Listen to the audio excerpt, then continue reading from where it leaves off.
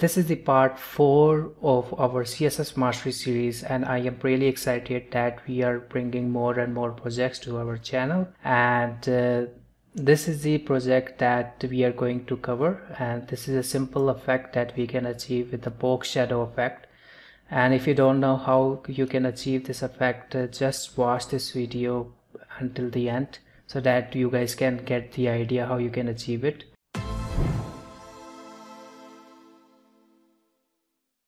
As usual, we have just added the boilerplate like uh, we have added the Google Fonts and custom CSS and linking to the CSS file. And in the CSS, we only write the universal reset uh, and uh, resizing our uh, and setting the size to 1 rem equal to 10 pixels. And these are just the initial styles. The first step uh, in order to create that type of effect is using like we are using the containers just to just to center align all the things in the middle of the screen. And then we need to add the anchor tag and I'm assigning it a class btn and read more and I am just putting it here hash. Let's look into the output. So uh, this is the output read more okay? This is the button that we have just created. And the next step is to uh, start adding these styles. You know I'm just targeting button mm, this button okay? For that I'm just adding display inline block padding 1 rem which will be like uh, 10 pixels and 5 rem which will like 50 pixels. I don't want any underline so I'm just setting it to text decoration none.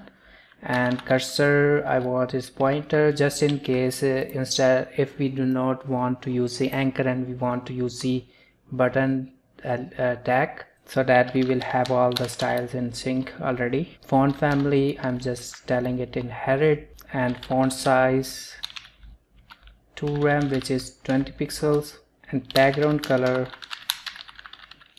E74C3C okay you can use whatever color you desire.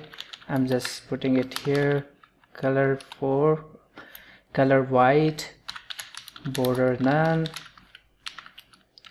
This is the output and uh, border radius I want it to be like 80 pixels when I hover over it I want to apply the box shadow. 0 x direction 0 y direction and I do not want uh, any any blur radius but I want the spread radius. And you will see how spread radius works. Just to show you I'm just adding a red color here. So it's spreading. The technique is to use the multiple CSS shadows. So how we can do it uh, we just put the comma and then 0 0 0 0.6 and then I'm just adding a color which is our button main color. And then you can see the color is spreading. So the technique is just utilize the background color for the button container. So the button container is uh, utilizing the body color okay? So this is the this is how you can do it. All we need is to just add the transition transition which is box shadow and 0.3 second. So this is how you can achieve it. If you are new here please don't forget to subscribe this channel give this video a thumbs up and do not forget to share with others. I will see you in the next project